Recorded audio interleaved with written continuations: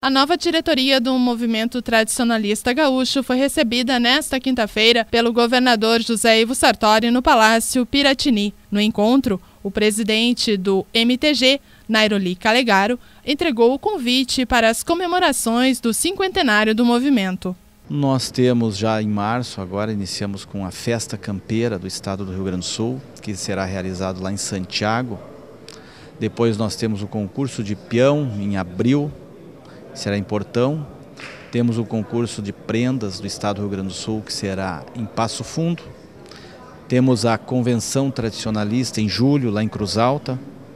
Temos o acendimento da chama crioula esse ano, que será no município de Triunfo, na ilha do Fanfa, onde Bento Gonçalves foi preso na época da Revolução Farroupilha. Depois temos o, efetivamente o aniversário em 28 de outubro e 29, que será aqui na capital, aqui em Porto Alegre. Nós faremos dois dias de, de, de atividades, sendo que num deles teremos uma grande cavalgada que virá das 30 regiões tradicionalistas, virão para Porto Alegre para as comemorações dos 50 anos do MTG. E culminamos com o novembro com a realização da final do grande festival de arte e tradição, que é o Enarte lá no município de Santa Cruz do Sul.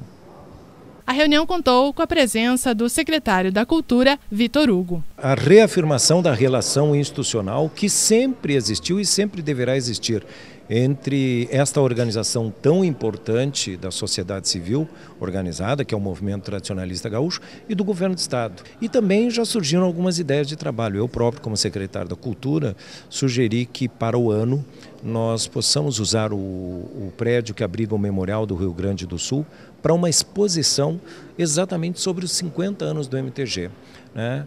que possa ter ali documentos da fundação, fotos históricas, para que as gerações de agora possam ver o caminhar dessa tradição organizada.